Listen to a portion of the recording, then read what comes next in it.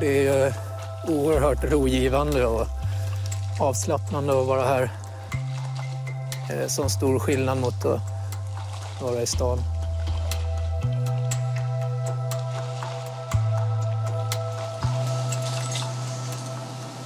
Det var skönt. Det var rätt eh, varmt ändå. Själva tanken med alltihop är att eh, det ska vara så i harmoni med min kropp som möjligt.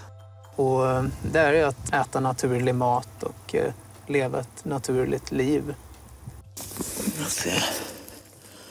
Det är faktiskt maskrosblad. Det är en väldigt underskattad ogräsplanta. Det smakar alltså som sallad. Det är inte sämre än spenat eller något annat. Det är kvar alla mineraler och vitaminer och sådär. Det är någonting som jag äter ganska ofta. Så.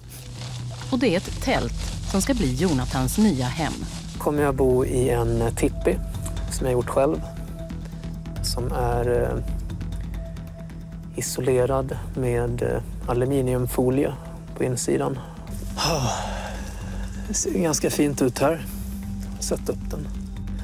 Men jag har lite kvar att jobba med den. Blir nog inte helt klar nu. Ska jag göra lite såna här störar. Hugga till det, knyta ihop dem och så eh, träpressändningen då utanpå dem. Till vintern så ska den vara helt klar.